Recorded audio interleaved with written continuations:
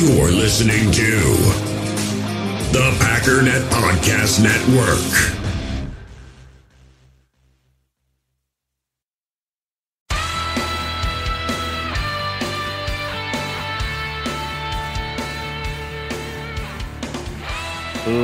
Ladies and gentlemen, welcome once again to the Packernet Podcast. I am your host and resident panelist, as always, Ryan Schlip. Check us out online, packernet.com. Find me on Twitter, pack underscore data. Well, what do we do today? Do we talk about Aaron Rodgers for a half hour or what? I'm, I don't know. I think we're all kind of burnt out on it. Um, supposedly today's the day, just like supposedly last week was the day, just like supposedly two weeks ago today was the day. Um, do I think it's today? Yeah, but the fact that it's there's got to be a name for this. There's some kind of a psychological torture that takes place that has a name that's very excuse me. Excuse me. Today was a good day. I didn't uh I didn't sleep through hey hey hey slow down now. Dropping my phone all over. I didn't sleep through all my alarms, so it's possible we might get interrupted by a couple alarms. I had a I had a small victory today. Was, it was actually kind of a I'm taking credit for the victory, but it was actually kind of an accident. I was so tired when my first alarm went off. I like it, I panicked for some reason. I don't know if I was having a weird dream or something, but I snapped out of bed. And when I was in the sitting up position, I'm like, do I want to like? I mean, I definitely want to go to bed, but it's one thing to. It's almost like when I hit snooze, it's like I didn't hear it. Like, no, I don't know. I'm, I'm so tired. I don't know what's going on. No snooze. Got to swipe to the right to snooze. Okay, okay, going back to bed. I don't know. I'm I'm so delirious. But when you're halfway in like the standing position, you got to conscious like I, I snapped my phone up like I'm I'm starting to get the process of like rushing out of my bed almost like something in my brain was like dude you're late for work. And so it's like am I going to do the overt act of of being like I am going to set my phone down plug it in lay down get under the covers and fall asleep? I'm like no just get up stupid. So it's a little extra painful but um, again I'm I'm counting that as a win even if it was an accidental win but look, there, there's there's so much information out there, and it's just kind of got my head spinning. Probably for all of us. And I've I've talked before about how I was like 95% sure that this is basically a done deal. Rodgers is coming back. And then you just start seeing all, and and we've learned that all these reports are fake, but I still somehow get sucked in, even as I'm saying that ain't real. I still find myself going, I don't know what he's gonna do, man. He might actually. What if he goes? Like he might go. What's he waiting for? He's gonna retire. I mean, not retire. He's going to go to to Denver or maybe it's somebody said Tennessee, even though I already heard that that's not a thing. But maybe that was fake, and I don't remember. I'm I'm kind of confused, and I don't know what's happening anymore. Same with Davante. I I said, you know, today's the last day of the uh, of the tag, and I'm sitting here saying they have to do it today. What are they doing? It's it's going to happen. It has to be today because there's no other. And then it just dawned on me: didn't you say a couple months ago there's no way they're going to franchise tag Davante Adams?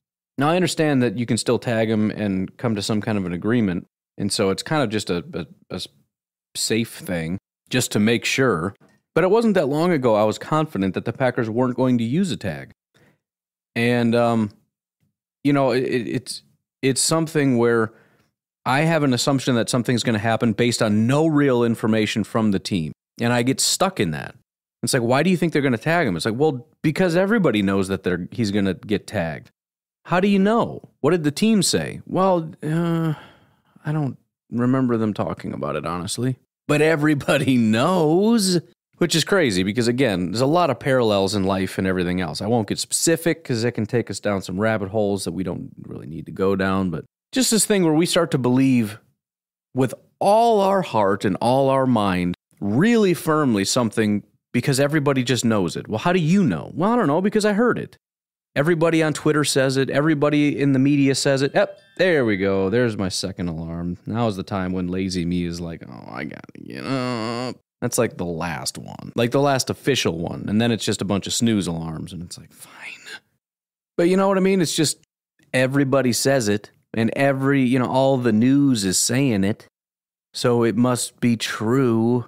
But how do you know? Other than other people told you, and the logical fallacy known as the appeal to authority, how do you know? You don't know. You don't know jack squat. And when you put your own brain to it, if you've even tried that, what do you come up with? Maybe you don't have to trust yourself, but what else are you going to do? Thinking for yourself and being wrong is better than letting other people think for you. Let's put it that way. And again, you can appeal to authority all you want, but I, I, promise you, no matter what issue we're talking about, find an authority that believes something, and I'll find an authority that believes something different. On literally every issue, I will find a PhD who is a lot smarter than you and a lot smarter than me that thinks something different. So, what good is that? It's kind of funny, too, if you think about it. And we're, we're again, we're, we're down the rabbit hole now. But I've thought about this. This would actually be bonus podcast material. Maybe I should just save this for that. But it is a little bit interesting if you think about it. I believe something because the authorities say so. Well, not all authorities. No, but like those, the ones that I listen to do. So it's not even the authorities you're listening to. It's it's what you want to believe, but you're not even basing what you believe on what you think because you're not thinking, you're believing in authorities, but you're choosing which authorities to believe in. So really you you have made up your own mind on what's going to happen, whether it be with the Packers or anything else. And you're kind of just using the authorities as cover and as an excuse to believe it without thinking about it, which is really crazy. I don't have to think because I've selected authorities to tell me what to think, but really I've pre-selected them based on what I want to think, even though I haven't thought about it. It's it's freaking weird. Anyways, as I said, wasn't very long ago. I thought there's no chance Davante's leaving. He's not going to get tagged. Rodgers is coming back.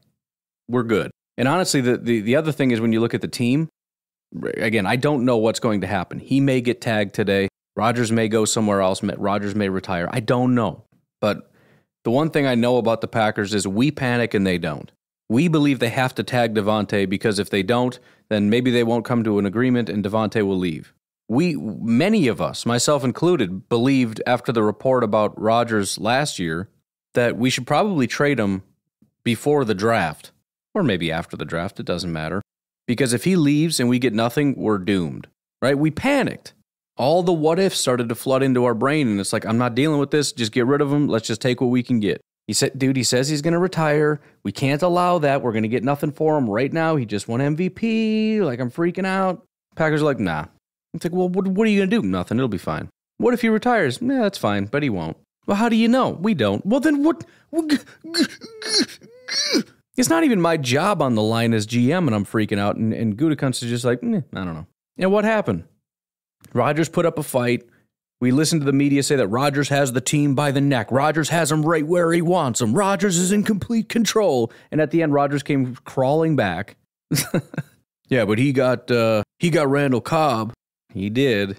He got his precious Randall Cobb. That was that was wonderful, wasn't it? He sure won that battle. Way to go. And we're hearing it all over again. They got the team, but this team is getting whipped.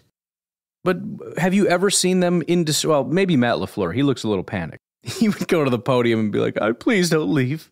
I don't know what we're gonna do." But you talk to Gutekunst, he's like, "I don't care." But if he leaves, yeah, that would suck. You know, you got to do what you got to do. But we'll uh, we'll find another quarterback. He didn't say that, but I mean, that's that's kind of that's just the vibe Gutekunst gives out. Maybe he's just a really good negotiator that way, show no fear. But uh, at the end of the day, we're going to find out today how they actually feel about like is is he actually just massively confident or is it kind of just for show and they're about to tag the dude right now? Because today is drop dead day for panic time. And it'll probably give us a, an, an indication of how the, the talks are going because again, there's conflicting reports with Davante.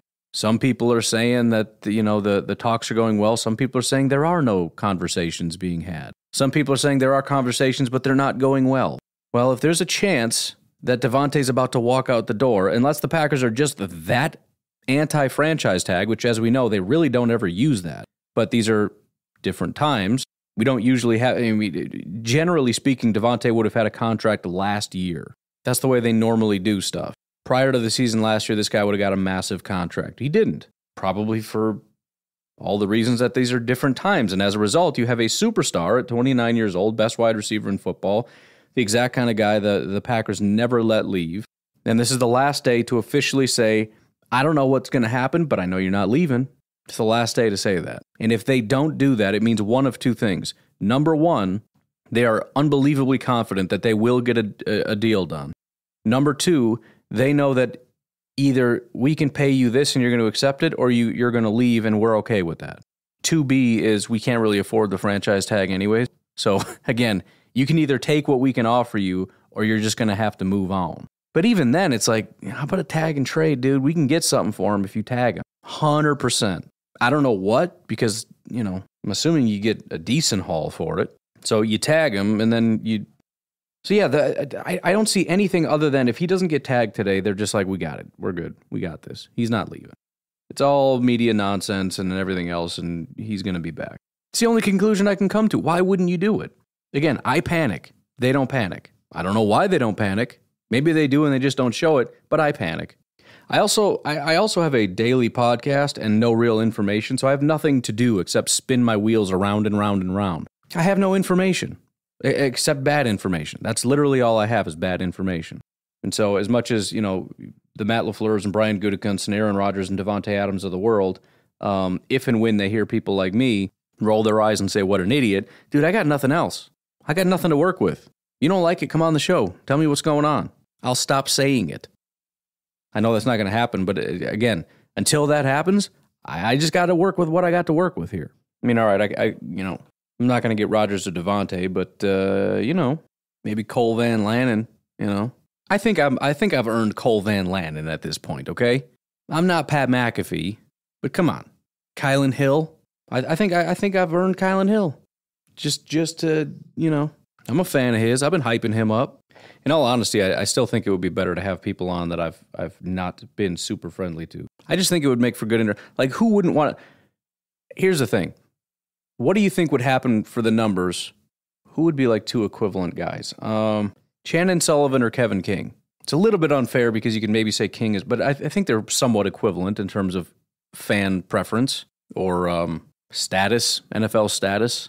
Point is, though, everybody knows that I've had some opinions of Kevin King and have said some things about the guy on the show. And if you saw that he was on the show, I would assume that everybody would be like, dude, I can't wait to listen to Kevin King just tell this guy he's a freaking idiot. I mean, not because I dislike him, but it's just going to be funny, hilarious entertainment. And I agree, it would be. I got to work on that. Be like, hey, Billy Turner, what's up, man? I've been telling everyone you're a little bit overrated. You want to come on my podcast and tell me why I'm wrong? And by a little overrated, I maybe maybe kind of take a little bit off in this message. What are we talking about right now? Oh yeah, I have no information spinning my tires. Okay. Anyways, um, so today, today, I mean, today is a big day. What whether whether anything happens or doesn't happen, it's kind of a big deal, right? Because we've kind of crossed a line here. And so if this day concludes and Rodgers isn't even on McAfee and we haven't heard anything, um, doesn't give us a massive amount of information on Rodgers other than again, we're kind of drifting further away from this is a done deal and he's staying in Green Bay because it doesn't make a lot of sense. Some people have speculated that it has to do with Davante trying to keep the pressure on them, but I don't think this is helping Davante is the problem. I think what would help Davante is for Rodgers to make a decision. Because once Rodgers makes a decision, the Packers can then figure out what to do with Davante, or at least have a clearer picture. I'm not entirely sure how him saying, I'm not going to come back until Davante gets a deal is helping unless we want to do this in reverse. I mean, if that's what they're saying, then fine, we're going to work out a deal with Davante. But Davante's the one I'm sure that's saying no to the deal. So what what are we talking about here? I guess that would put the pressure on the Packers to bring him back. But what if they just can't? I mean, if Davante's let's just say sitting at 28 and Rodgers is like, I'm not coming back until you sign him, and they're like, all right, we got to do a deal here, Davante. And he's like, well, I'm not budging off 28. Then I guess none of you are coming back. I don't know what to tell you. And again, I just I don't think that's it. I don't think that has anything to do with it. I don't think Rodgers is doing that. I heard somebody speculate that maybe they want to be like a package deal somewhere. It's like, you know, this kind of stuff is stupid to me. I just don't think this is things that NFL players really do. You know, Gronk went back to Tampa. I get that, but they didn't leave and say we're we're a team or we're not. No, Tom did what he felt was best for himself, and then he asked Gronk, "Hey, do you want to come out of retirement and come play?" And he's like, "Man, for you, yeah, let's go win a Super Bowl." That's a different thing. Davante's looking to make a really major life decision he wants to be in the right place and he wants to make the maximum amount of money.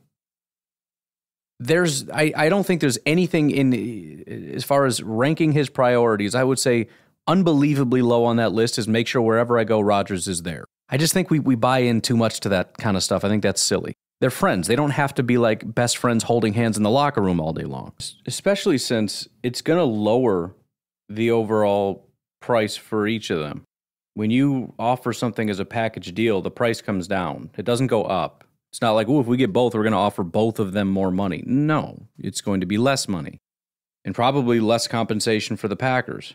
So, again, I think a lot of this is just romanticizing silliness, and I, I don't know. We'll see what happens. The the other thing I think we need to be prepared for for the Aaron Rodgers situation is we may get an answer and it'll provide us almost no clarity. I mean, don't get me wrong. If he says I have decided to come back, that's that's that's a lot of information, but it's not going to heal us from this ailment of wondering what is going to happen, right? Because it, it, immediately after that, what we are going to start doing is rather than saying, "Yay, we figured it out, we can move on to something else," or just stop talking about it. No, what's going to happen now is what's the contract? How much? How long? He's not going to answer that. He's not going to be like, well, I've decided to stay. I've worked out a deal with the Packers. I'm going to be here for two years at this much as my base salary. And th- he's not doing that. In fact, I'm trying to think, what is it even going to sound like for him to make some kind of an announcement? It's kind of weird. I don't know. It's just it's, it's it'll it'll be weird if and when that happens. But the point is, it's not going to offer us any clarity on how long he's going to be here, what his mindset is for next year, you know, I mean, if he's planning on, if he's really strongly contemplating retiring this year, then we have to assume that it's going to be maybe one more year because he's maybe doesn't want to be here too much longer. In which case, if we if we believe the reports that this is some kind of a record-breaking contract, how in the freaking world? This is the thing I don't get. I want Ian Rapoport to explain this to me. Sit down with a pen and paper, Ian. Look at our salary cap situation. Draw up a short-term contract that involves, you know, $50 million a year and we can afford it. And we cannot spread it over. So, I mean, we could do void years, that's true. But void years are not, if it's a two year deal with, I don't care how many void years it is, all the void years do is put it in year two. That's all it does.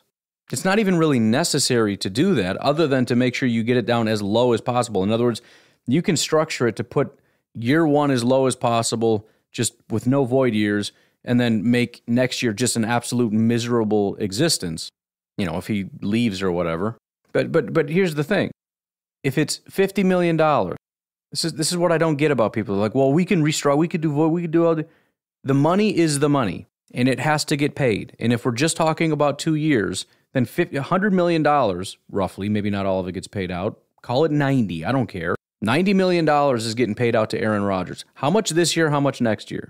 Well, we could get that down, man. We can get that down to like 30. It's not that big of a deal. Okay. So that means we pay 60 next year? Well, uh, no, you, you could you could do stuff with the salary. You could void years. I, I, I really wonder if people still think that we just pay those void years in those years. Like if you have a four void years, then for four years we just pay on that salary. That's not how that works. The second he gets off our books, we got to pay in full.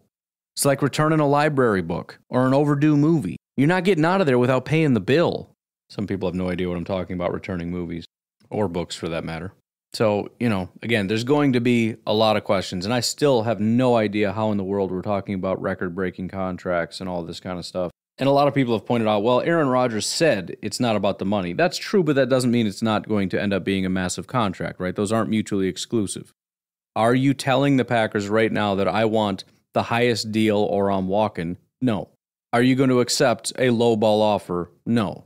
Now, there's not a, I mean, there there is some area in there that doesn't really make sense. I mean, if, if it's not really about the money, you kind of offer him a relatively high contract, but maybe not the highest. And if it's really not about the money, he should accept that.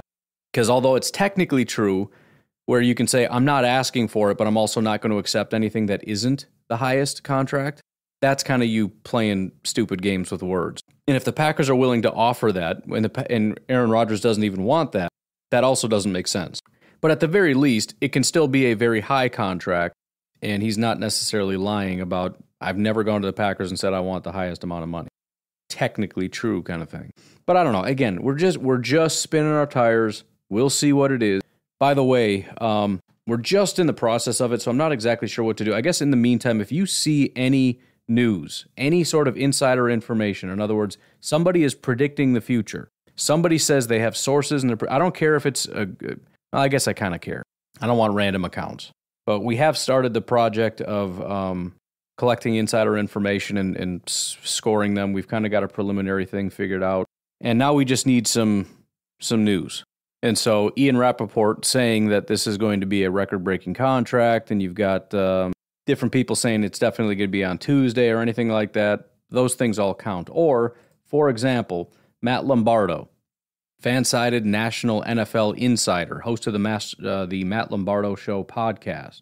He said yesterday, as free agency looms, an interesting name expected to hit cornerback market, Rasul Douglas. As it stands, sources don't expect the Packers, who are nearly $30 million over the cap, to be able to bring Douglas back. Expect multiple teams in on Douglas after a career high five interceptions.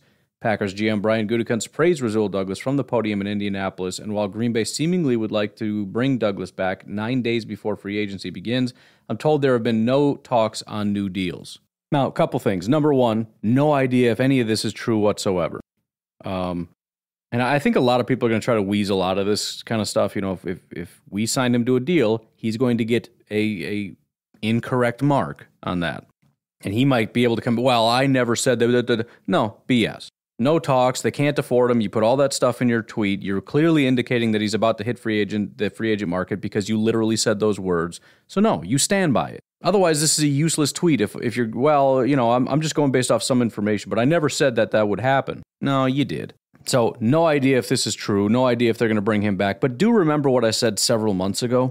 My assumption is a guy like Rasul Douglas is probably going to price himself out of Green Bay, and it's not even necessarily because the Packers are so strapped for cash.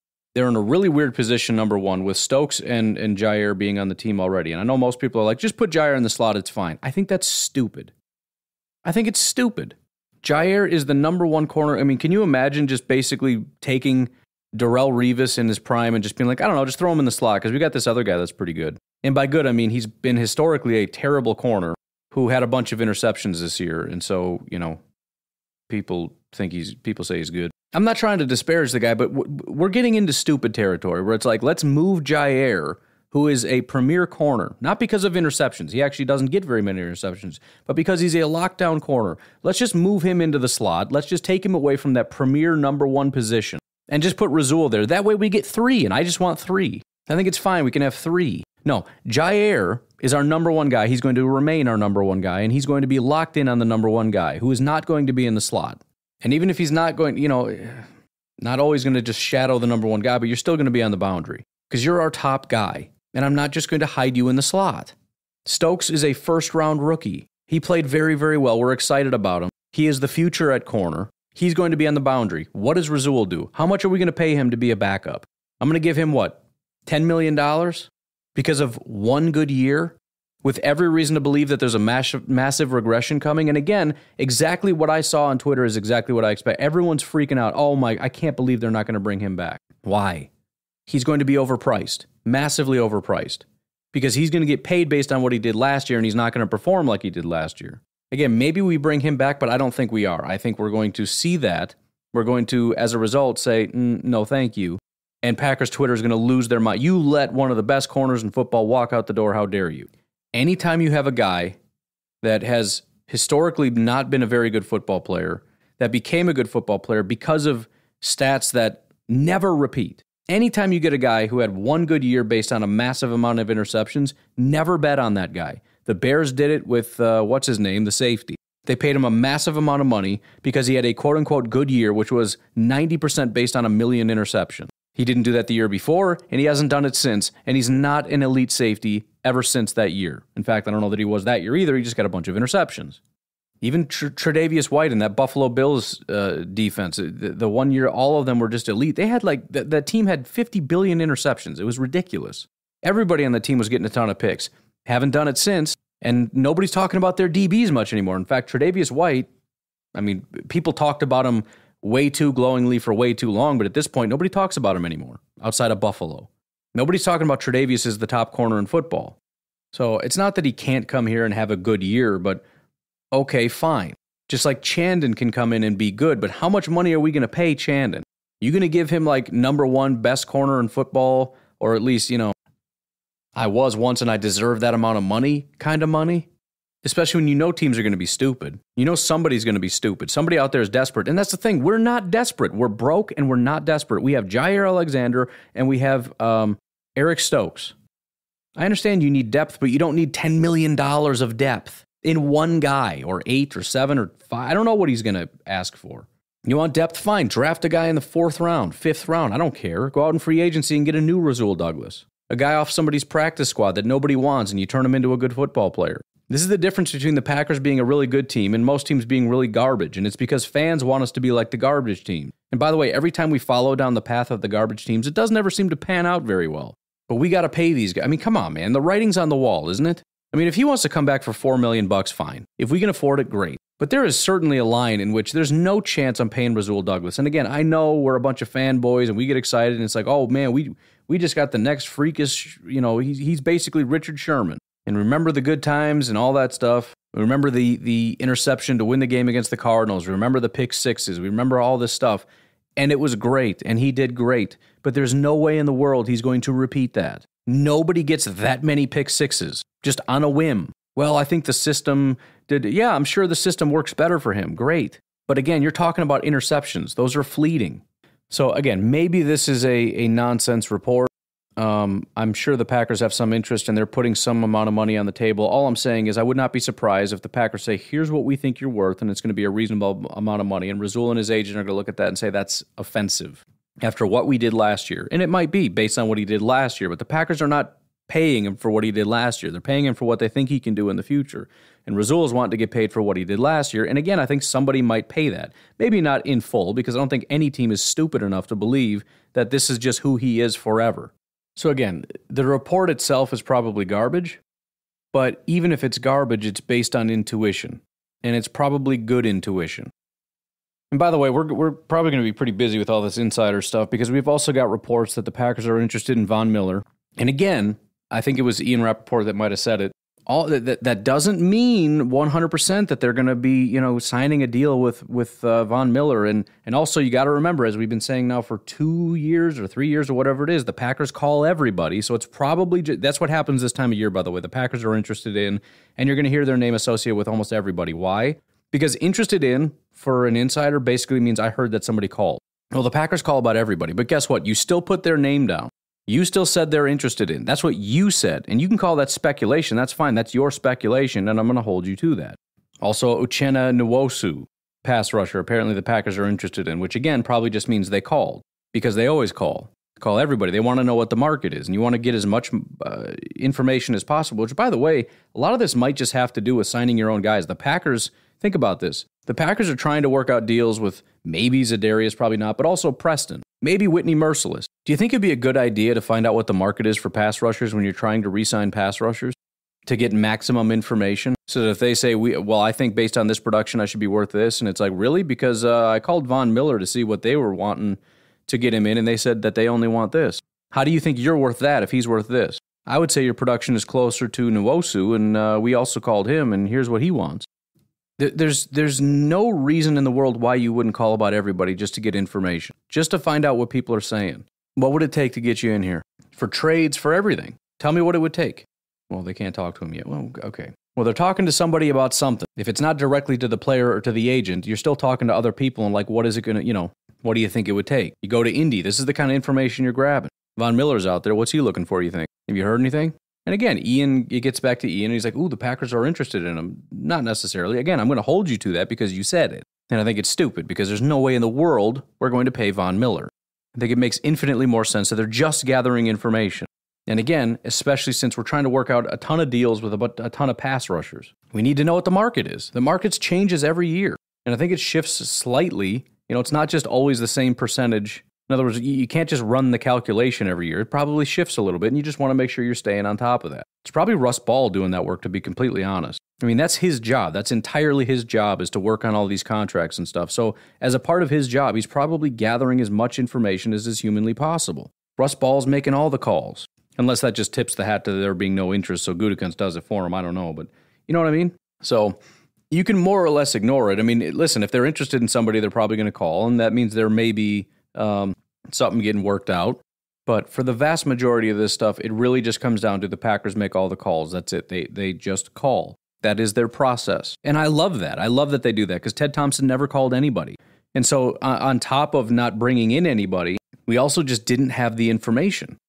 You know, I, I think it was it was a uh, we had a very isolationist kind of policy, and, and, the problem with that is if you don't open up the free market, you don't have the flow of information and the cur- currency exchange. You're kind of just doing your own thing over here you offer what you think is reasonable and they're like dude that's that's trash it's like that's trash oh well I, I, that's what we're offering. I don't know.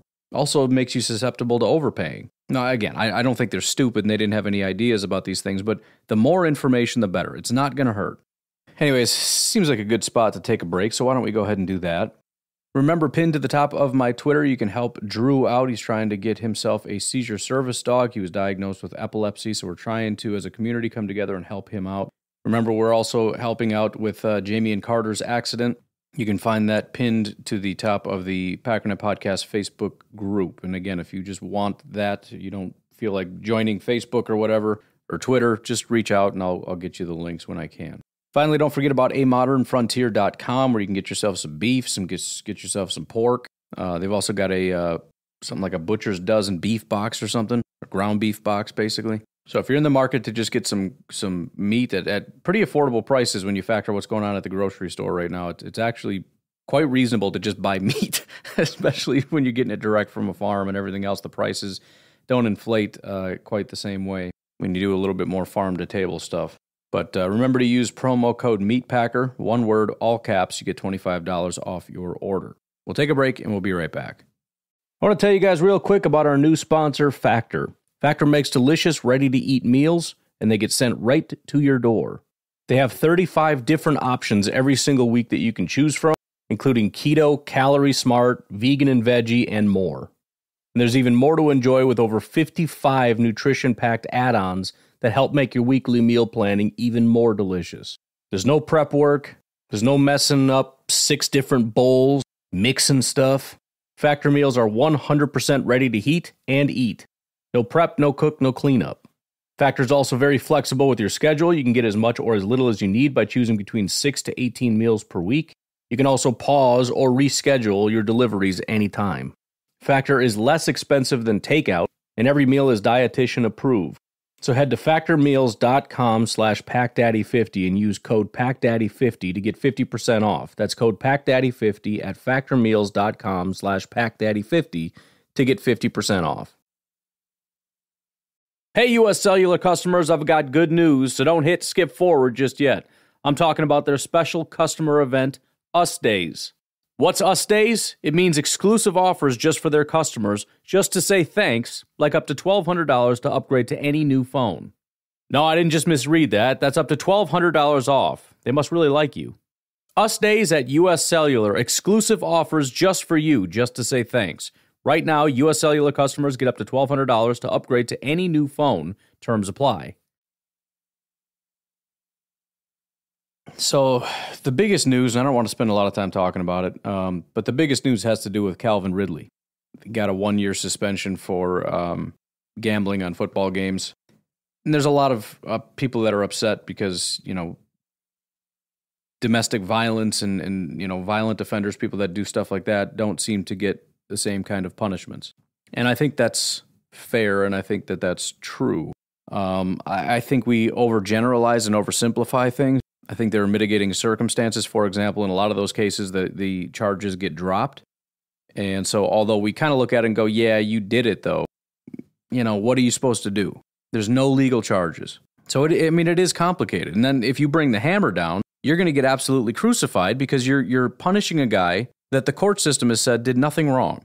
You know, it's it's sort of like the Deshaun thing where you know there's if you just look in the comment section, there's there's two different sides of this. On one side, people are saying this guy should not even be in the league after what he did, and then you got other people saying, um, show me the charges, show me where he was convicted of anything.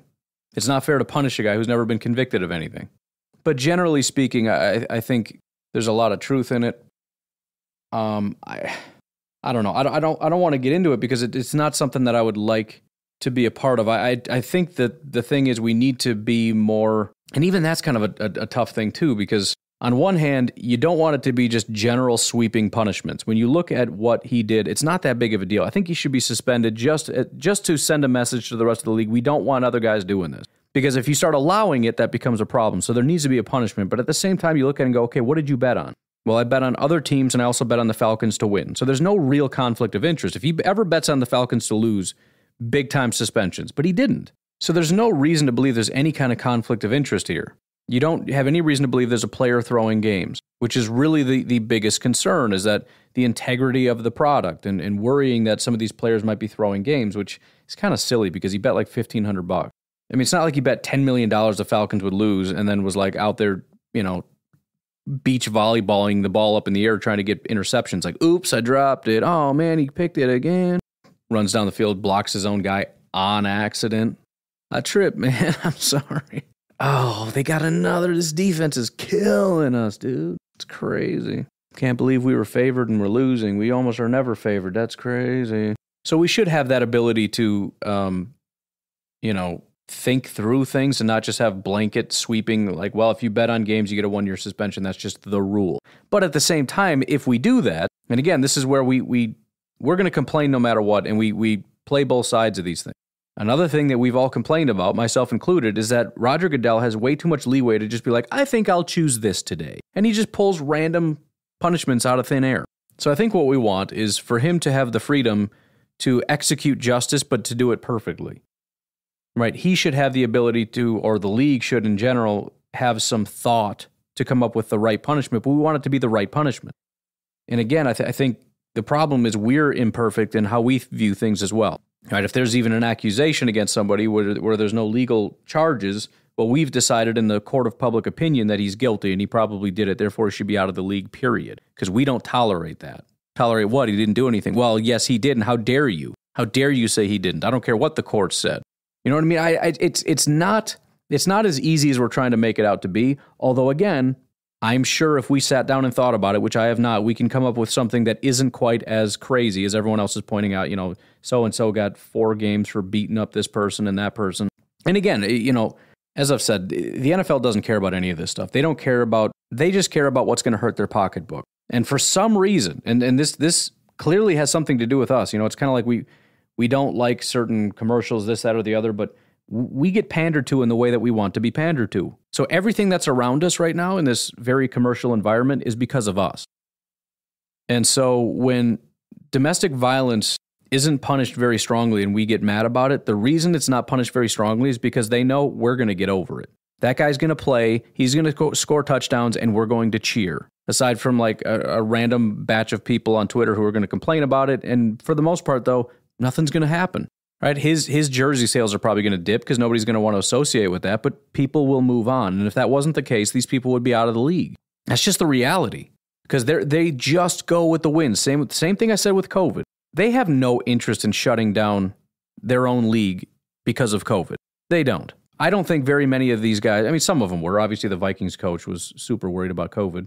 I'm sure a few others were, but, you know, the, the owners and whatnot, a lot of these guys, I doubt Roger Goodell cared very much but they went along with what public perception said you should do. And if, if they just said, I don't really care about COVID or what, it would have been a massive firestorm. And so now, now that people don't seem to care as much, and some people are still going to be psycho about COVID for the rest of their lives and they're never going to get over it, but they know that public perception has shifted to the point where you can make all this stuff that they don't want go away and there will be less negative than there will be positive. Most people will be happy about it, at least enough so that they can do what they want and get away with it. Because that's all they, again, they, they, they just genuinely don't care. And, and the, the biggest example I have of that is, is one of the most egregious things I've seen was the video of Joe Mixon knocking a woman out in a restaurant. And in a matter of like a month or two, he got drafted in the second round and has been playing in the NFL ever since. And he's got selling tons of jerseys, and all the announcers praise him as being a great running back. And nobody cares about Joe Mixon. Nobody says a word about him. Last time you talked about Joe Mixon, was it about his talent as a football player, or was it about the fact that he shouldn't even be in the NFL because he's he he I think he broke the woman's jaw. And there was a video of it. It was it was gruesome. He knocked her out cold, right in the middle of a restaurant. I think he broke her jaw and she just went flat on the floor and he walked right out. And and and his punishment was he fell to the second round. That was his punishment. So it's not about caring. Nobody cares. I shouldn't say nobody cares. The, the, the NFL generally doesn't care. It's just a matter of what can we, what, what is the minimum we can do to make it seem like we did something? And I, I know that's a, a, a bleak way of looking at it, but in reality, what else are we talking about here? If this was a league, and, and it's not just the league, I'm sorry to tell you, I know we want to believe that society is built on these, these angels and we all collectively just love and are peaceful and we're just great human beings And the NFL is this evil rich billionaires. It's, that's a fantasy. The evil rich billionaires can do it because the society as a whole doesn't give a crap. We pretend to, and then we move on, just like everything else. If you don't believe me, look at all the political scandals you personally don't care about. You pretend to care about political scandals when the party that you don't like does it, and then when your own party does it, you pretend it doesn't even matter. Because a lot of this stuff is fake outrage. And it's kind of sad, but that's the reality. The NFL can offer a six game suspension to a guy that beat the living daylights of, out of somebody because they know that although there's going to be some huffing and puffing, and how dare you, and it's only six games, it's going to be the same thing every single time. There's going to be a about, oh, six, and they're going to go through the list. Six games for this, but Calvin Ridley got a year for gambling. Wow, what a, da da da. And we're going to go through that little rigmarole, and then it's going to, we're just going to move on, and we're going to move on, and that's it. Adrian Peterson to this day is just praise. I can't believe, oh, yeah, he's going to this team. Da, da, da, da, da, da. We moved on, aside from, again, a handful of people like, oh, remember when he did this? And again, you look in the comments of that, and it's going to be like, oh, where was the conviction? Oh, where was da, da, da. I don't remember the specifics of that, but there's, there's always people defending it. So, I mean, I don't know that I necessarily dislike the year suspension, aside from the fact that there really wasn't a conflict of interest. And I think if you wanted to send a message, you could do so with less time. That is a massive, and it, it, kind of seems like a nip it in the bud kind of thing. In other words, we haven't really had this happen before, and we want to make sure it never happens again. So we're making an example of him, which I don't like when people do that. That's completely wrong. Like this isn't a fair punishment, but we're making an example of you. That's that's a human being, dude. You have no right to over punish somebody just to try to prevent other people. I, I hate that so much. Making laws as as uh, a way of dissuading people or punishments as a way of dissuading other people is always wrong. Always wrong. And I think that's what they're doing here. And that is wrong. It's not about what you did, it's about preventing other people from doing what you did and worse and allowing this to get out of control. So we're going to bring the hammer down as fast and as violently as possible to prevent this from ever happening again. And I think that's as deep as they thought about it. And I don't think they care that they've given out smaller suspensions for for domestic violence, which, by the way, is much more common than gambling, if you can believe that. And if they start handing out one year or permanent suspensions for everybody that raised their hand to somebody, they'd be in a little bit of trouble, and they're just not going to do that. So again, it's not good, it's not a good thing, but it's the reality. And it's not just the evil rich billionaires. They can get away with it because society will move on. And you know that's true. It sucks and it's sad, but it's a reality. If you don't believe me, again, look at Deshaun Watson. We just keep talking like he didn't do anything wrong. Oh, the Miami Dolphins are interested. Oh, they're not interested anymore. But look at Washington, the Commanders. They're super interested. They might make a push for him. Like, I'm sorry. I'm sorry. I, I, what happened to the accusation? Well, there's no, we don't really know yet. So mm, the, the media talks about Deshaun Watson like he's just this the most talented guy in the world, just waiting out there. And there's no other information in that story. He's just super talented and he's just waiting. Somebody's going to get a superstar. I wonder who it's going to be. Could it be, you know, who's going to be the lucky winner? what happened to the part where he assaulted numerous people? What happened to that? Oh, we don't we don't talk about that. We're, we're, we're just we're just trying to talk about talented football player, you know, making some good throws, man. Just just dropping dimes. Okay, all right. So we've moved on. Got it. Well, there's no charge. And, and, again, then we, then we want to bounce back and forth. Well, you know, if there's no da da da, okay, well then that applies to all the the domestic abusers whose um, girlfriends that are terrified of them end up saying, "Oh no, he didn't actually do that. I made that up." Those cases get dropped too sometimes. Are we are we just going to say, "Well, there's no, you know, he didn't get convicted." So again, it's it's more complicated than we make it. We want to just, you know, broad sweeping judgments, but this is also stupid, but it's also stupid because we make it stupid. So, it's just a ugly, stupid mess of stupidity and ugliness and more stupidity on top of that.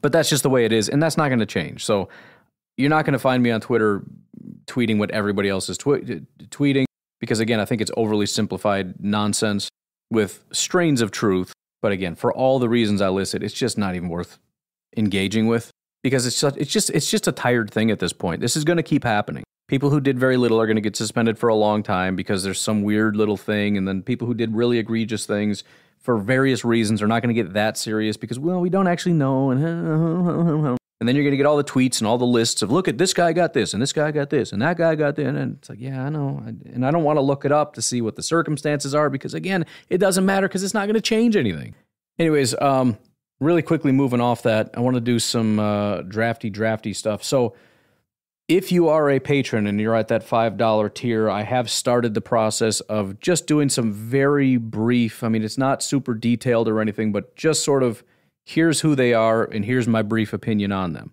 I've done two players so far. I did Chris Olave and I did George Pickens. By the way, we're, we're finally starting to see the movement on this. I, I just I just noticed it, and it's it's very very real. So Garrett Wilson is staying where he was at the top spot at number eleven. Jameson Williams, because of his uh, combines and whatnot, moved up two spots to 16. Chris Olave, who again the Packers had at 28, is now projected to go 16 to the Eagles. He's now 19th overall. He's jumped up three spots. Drake London and Treylon Burks, though, two guys that I really like, and I'll probably do them next because now they're becoming in range. Drake London has dropped five spots down to 22. Treylon Burks has dropped nine spots down to 24. Now, again, this doesn't mean this is what NFL teams think. And we still got pro days. Treylon Burks did not have great 40 time, all that kind of stuff. It may just been the conditions, this, that, or the other. He was expected to run a lot faster, though. And so you've got a guy that is just kind of big, strong, physical, sort of an Allen Lazard type. But the assumption was he's also really fast. He's running in the four fours or something, and he ran in the four fives. So he has dropped nine spots. Somehow Jahan Dotson has moved up two spots. I don't know how that happened. George Pickens is up four spots. David Bell is starting to drop, um, et cetera, et cetera. So you're starting to see that kind of movement. And a lot of this, again, is, is somewhat expected. Chris Olave with a big jump. Drake London, who didn't run, so we'll see. His, he may bounce back if, with a real strong pro day. If he runs fast at his size, he'll be fine. Um, and again, Treylon dropping a ton. We should actually let me look at this real quick. That's right. I forgot. Uh, the guy who owns the site said there's a big uh, a big update coming. So Malik Willis, looking at quarterbacks real quick. We'll just do the top guys. Malik Willis is up three spots to nine, so he is in the top ten. Again, this is not based on the NFL, but this is now the media consensus. Kenny Pickett is actually up four spots. I don't know how that happened. Matt Corral has dropped five spots. Good. You guys are idiots. I don't care. And then Sam Howell, Desmond Ridder have not moved. Running back, um, Breece Hall has not moved up, but I expect he might. He's already at 48. I don't know if he bounces in the first round, but there's some possibility. You're starting to see comps to guys like Saquon Barkley and Jonathan Taylor based on his size and speed. Um, Isaiah Spiller is falling because of his not great times. And then you got Kenneth, Kenneth Walker moving up three spots, Kyren Williams moving up six spots. Brian Robinson has actually moved up eight spots, the Alabama, the bigger Alabama guy. So a lot of big movements here.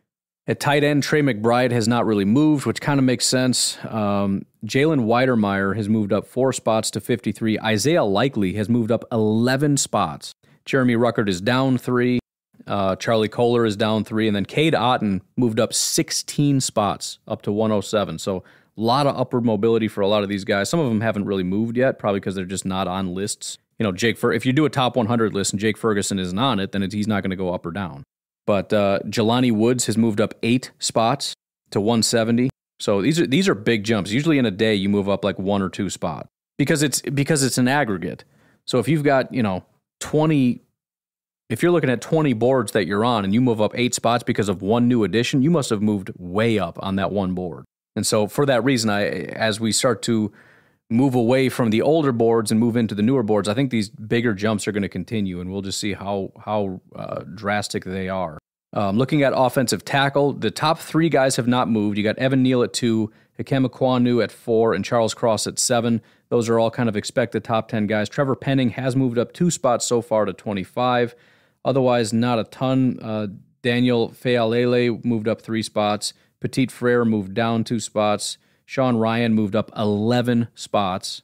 Max Mitchell dropped six. Uh, Rasheed Walker up 12. Tyler Smith up 12. Interior offensive line, uh, the top three guys, Tyler Linderbaum, Kenyon Green, and Zion Johnson have not moved. But Jamaree Salyer, Georgia interior offensive lineman, moved up nine spots, while Dylan Parham uh, went down four, Ed Ingram went down four, and Thayer Munford went down four. It seems like everybody at Ohio State is dropping right now. Um, then you've got defensive line. Obviously, these um, Georgia boys are moving. Devonte Wyatt, not so much, but Travon Walker, who they list as a defensive lineman, he's a pass rusher, but he's moved up five spots to 23. That's going to continue. There's talk about him being a top 10 pick for sure. He's at 23. That's going to continue upward. Jordan Davis, kind of the same thing. He also jumped up five spots. He's at 18 right now. I don't know how high he's going to go. Somebody asked me if, if he was going to be in the top 10, and I'm not positive of that. I think most people assume he is because of his freakish. I mean, again, second most freaky athlete since Calvin Johnson. You have to assume that's top 10 talent.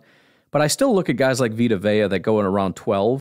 I mean, if he goes outside of the top 10, he'll go very soon within, you know, 11, 12, 13. I, I said he, he, no chance he gets outside of the top 15. I don't know for sure he goes in the top 10. It just seems like those massively big physical freaks that are 340 pounds, they don't go top 10, they go top 15.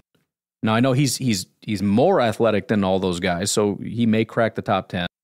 You could even say probably crack the top 10, but I don't know for sure. But those guys are moving up. Uh, nothing from uh, Wyatt, Leal, Hall, Jones. Uh, Math has moved up too. Perrion Winfrey moved up 10 spots. So, again, a lot of big time movement.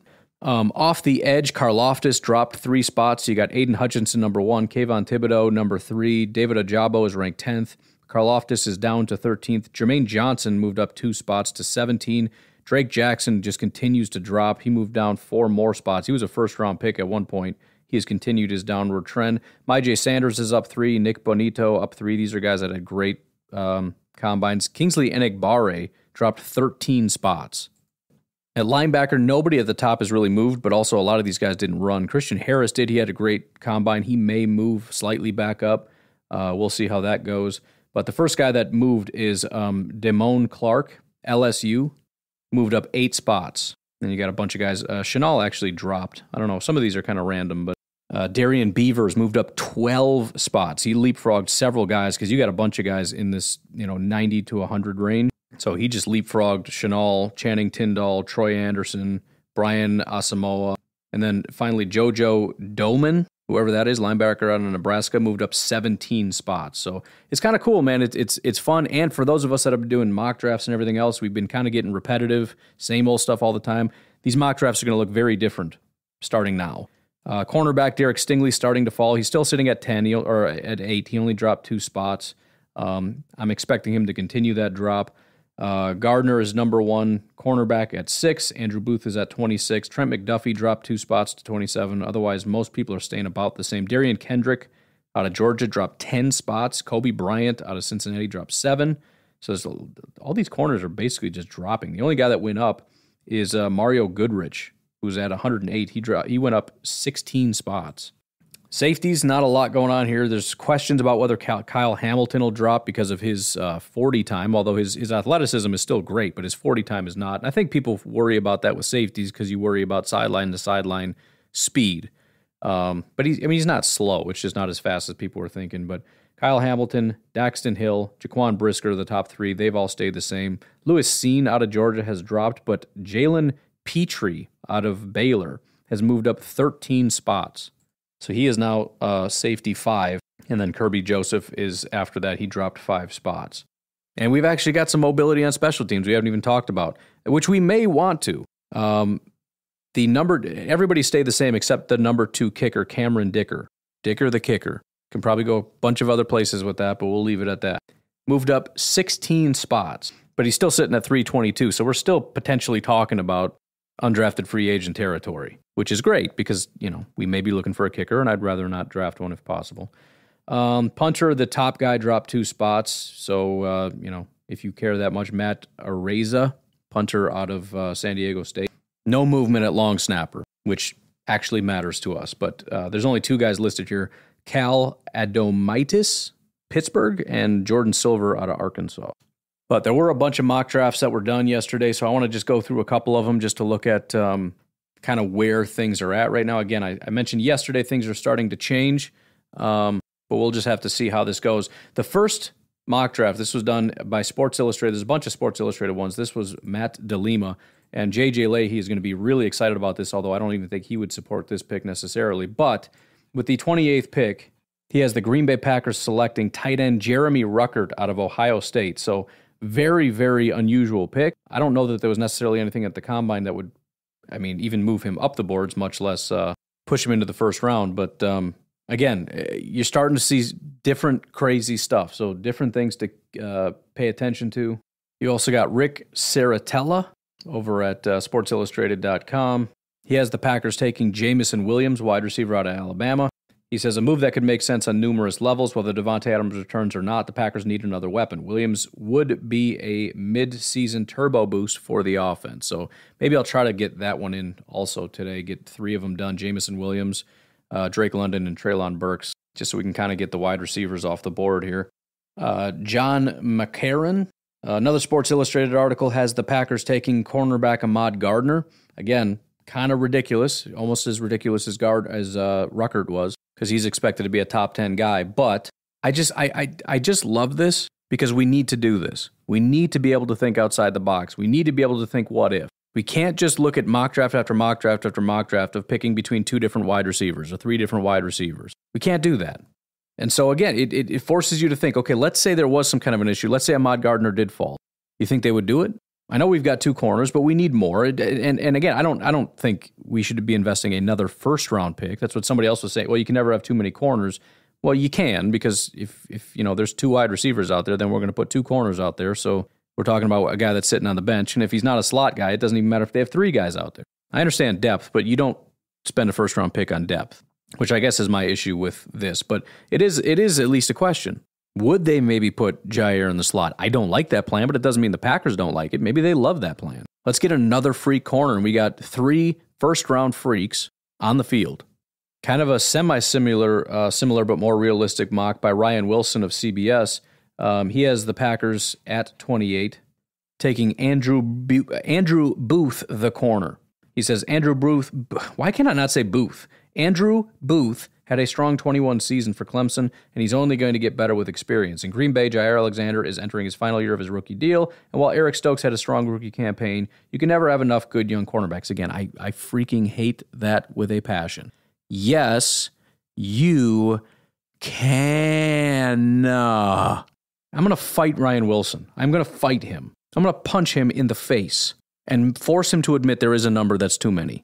I probably don't even have to hit him to do that, but I just I just want to fight him, all right? I don't care if I lose the fight. I, it just it needs to happen. I can't tolerate this anymore. You can never have enough. You can never have enough corners. You can never have enough tackles. You can never have enough pass rushers. Shoot, you can never have enough good defensive tackles. You can never have enough good quarterbacks. I, I mean, that's not a thing people say, but why not? It's the most important position in football. Well, how can you have too many quarterbacks? Well, because only one plays. Exactly, you idiot. What do you want? Nine first round corners? What are we going to do with them? What are you going to do with them? It's stupid. Stop saying that. Again, maybe, but don't say you can never have enough. Don't say that. 74 is too many. In fact, the NFL will come to you and tell you you have too many. They have to go bye bye. You don't get to say, "Well, you can never have too many." I somebody told me, "Can I keep my 74 corners?" Are you even paying them? Yeah, because they're all trash undrafted free agent, but you can never have too many young corners. Hate it. Moving on to a draft countdown. This is Shane Hallam.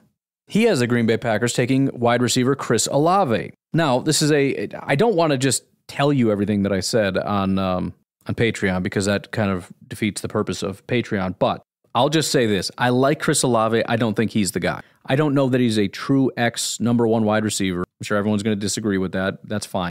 If I had to put money down today that he's going to be like a, a Davante Adams or you know any any of these top guys, first of all, they usually don't look like Chris Olave. He, there, there are some really solid number two guys. You know the speed guys on the other side, like you know Calvin Ridley and whatnot. I think he could be that. I think he could be. Who's that guy that I was obsessed with forever? Um, he keeps bouncing around. He was with Tampa for a long time. S- smaller speed guy that just kind of crushes wherever he goes, and I want him, but the Packers just never get him because they don't like guys like Chris Olave. He could be that. If you don't know who I'm talking about, that's fine because apparently I don't either. I just I don't know that he can be that guy, and beyond that, I just I don't. It doesn't scream Packers receiver to me. When I look at him, it's like I like him, I like what he does, but I don't think the Packers are going to be like that's our guy. I just I don't see that. Mock from uh, Pro Football Network has the Packers taking edge rusher Boye Mafe out of Minnesota. Another completely wild one, but you know, again, got the combine. People got all kinds of thoughts and opinions on stuff. He's currently sitting at 74th overall, so he's kind of a third round guy. That would be even a reach for the Packers, but Here's what he had to say Boye Mafe's stock has increased exponentially since the start of the offseason, and all along the way, we've been asking ourselves just how high can this guy go? At this point, you can't tell me with 100% confidence he won't go in round one. I'm not sure it happens, but I do know this Mafe is a stellar character off the field.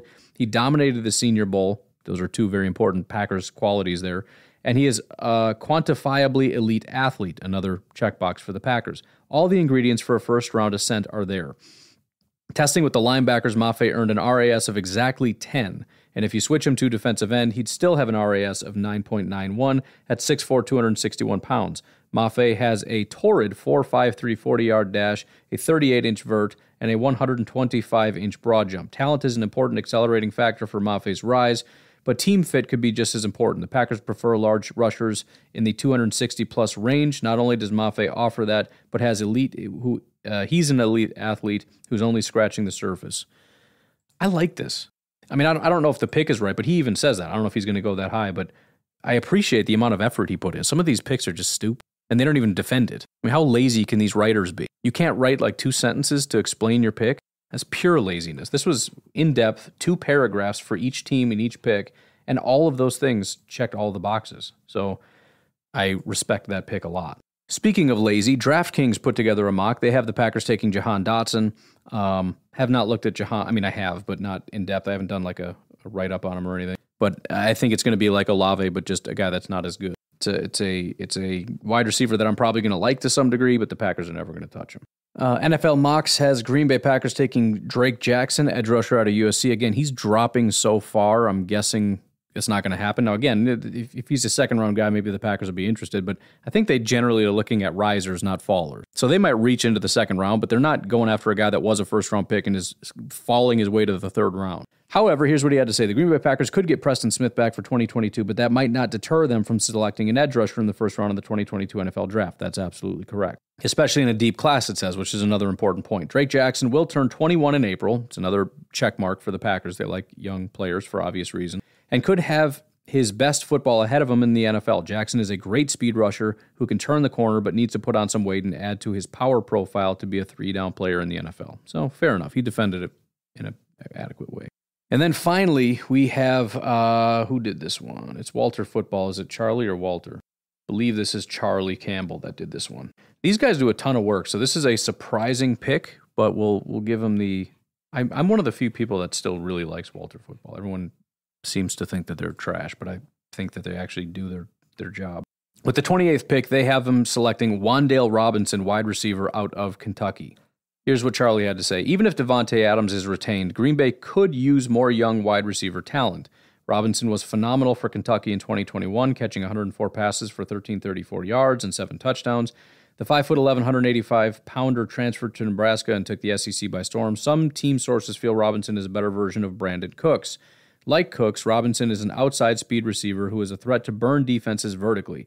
Robinson is similar to Tyreek Hill as well, but not as fast as Hill. Some sources think Robinson will be a better version of Cooks in the NFL. I think he repeated that.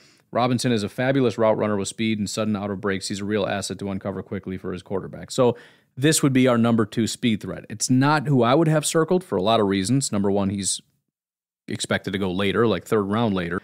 Number two, he's much smaller. 5'11, 185 is small, although that's basically Chris Olave size. But again, another really rare pick for the Packers in the first round.